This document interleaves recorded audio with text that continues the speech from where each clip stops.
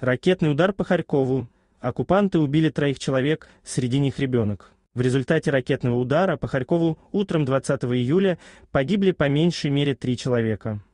Среди погибших 13-летний ребенок.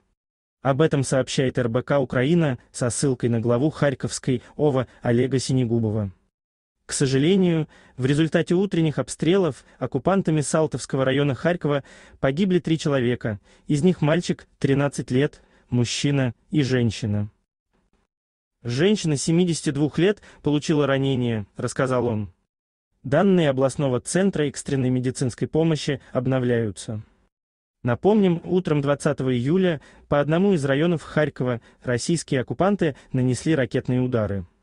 Власти города призвали жителей без надобности не выходить на улицы города. Также мы писали, что за прошедшие сутки российские войска убили пятерых гражданских в Донецкой области. Подписывайтесь на наш YouTube-канал, чтобы оставаться в курсе важных новостей. Также под видео вы найдете ссылку на скидки на AliExpress. Спасибо за просмотр.